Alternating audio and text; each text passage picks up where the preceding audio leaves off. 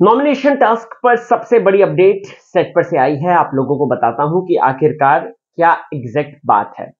नमस्कार, स्वागत है चैनल टेली खजाना में। चैनल को सब्सक्राइब करें। अगर आप लोगों ने मेरे नए चैनल राहुल भोज कॉमेडी को सब्सक्राइब नहीं किया है कमेंट सेक्शन में लिंक डाला है, ज़रूर सब्सक्राइब करें।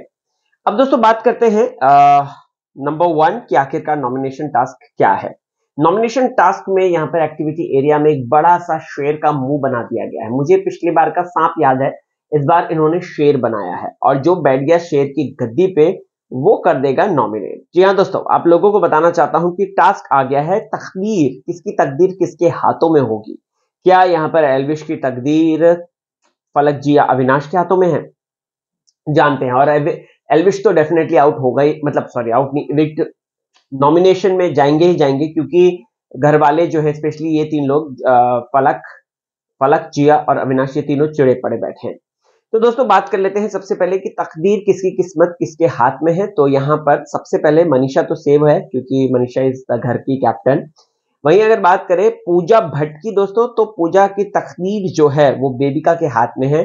Which I personally find out out की बेबिका नहीं करेगी अगर वो गेम खेलेगी तो करेगी और रीजन ये देगी कि कल ही पूजा जी ने बोला हमें कि मुझे जाना है मुझे जाना है राइट right? तो हो सकता है। अभी डिटेल जैसी आती मैं आपको ज़रूर बताऊँगा।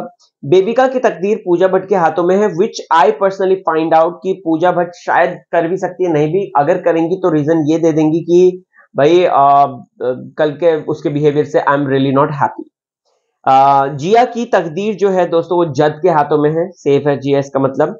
एलविश की तकदीर जो है, वो फलक के हाथों में है।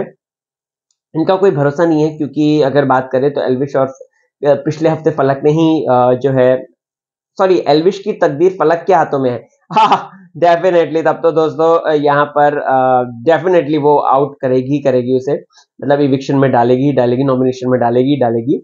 आशिका की तकदीर अविनाश के हाथों में डेफिनेटली अविनाश डालेगा ही डालेगा ऐसा लग रहा है। जद की तकदीर आशिका के हाथों में है। आशिका अगर गेम खेलना शुरू कर देती है बंदी तो हो सकता है कि जद को वो आउट करने के लिए डाल दे। वैसे मैं चाहता हूँ कि जद को डाले कम से कम उसको इविक्शन का डर तो पता चले। आ, फिर उसके बाद अभिषेक की तकदीर जो है जिया के हाथों में है जो कि 101 परसेंट जिया खेल जाएगी और बोलेगी कि मैं अभिषेक को नॉमिनेट नहीं करूँगी। अविनाश की तकदीर जो है वो एलविश यादव के हाथ में है। अगेन एलविश भाई डेफिनेटली विक्शन में डालेंगे नॉमिनेशन में डालेंगे ही डालेंगे अविनाश को। पलक की तकदीर अभिषेक के हाथों में है तो शायद अभिषेक डाल दे। अगर अब क्योंकि आ, आ, वो रीजन दे सकते हैं कि जे जो फलक जो है वो खुल के नहीं बोल रही है ये नहीं कर रही है वो नहीं कर रही ऐसा हो सकता है। सो ये कुछ चीज़ें हैं जो मुझे ऐसा लगता है हो सकता है। आपको क्या है कहना कमेंट करके ज़रूर बताएँ। और कौन नॉमिनेट होगा ये भी मैं आपको ज़रूर बताऊँगा। बाय